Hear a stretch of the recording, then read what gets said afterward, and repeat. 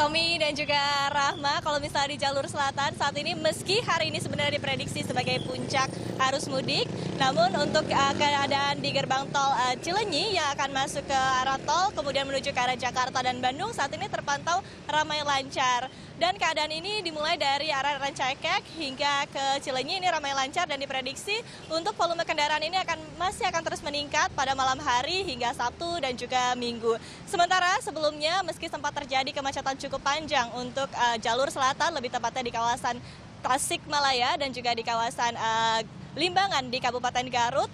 Ini sempat terjadi kemacetan hingga puluhan kilometer, namun sore hari untuk kawasan tersebut sudah mulai terurai dan kendaraan dapat melaju dengan lancar. Bahkan hingga ke kawasan Nagrek ini pun terpantau lancar untuk keadaan sore hari ini.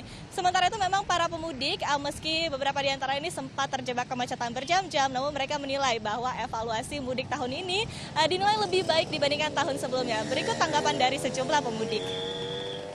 Kalau arus baliknya uh, lancar, berbeda dengan tahun lalu. Tahun lalu lebih lama. Kalau untuk tahun sekarang saya lebih singkat gitu. Perbandingannya mendingan tahun sekarang.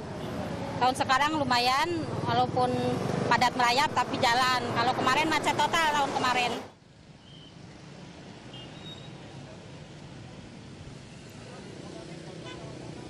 Meski Menteri Perhubungan uh, Budi Karya Sumadi menyatakan bahwa betul tanggal 30 Juni ini truk sudah mulai boleh beroperasi, namun beliau menghimbau agar uh, truk tidak dulu beroperasi sebelum puncak arus mudik ini usai yang diprediksi akan jatuh pada hari ini yakni hari Jumat, kemudian juga hari Sabtu dan juga Minggu. Meski demikian, jika ada truk yang bersifat mendesak dan harus beroperasi pada tanggal tersebut, uh, ia menyarankan bahwa memang truk ini harus mengikuti perintah maupun juga arahan dari kepolisian uh, di jalan yang mana ada kemungkinan untuk truk tersebut akan diberhentikan untuk sementara ataupun juga uh, dialihkan jalurnya karena untuk jalur ini jalur selatan pada khususnya diprioritaskan untuk bagi para pemudik yang akan kembali ke arah Jakarta. Tommy dan juga Rahma.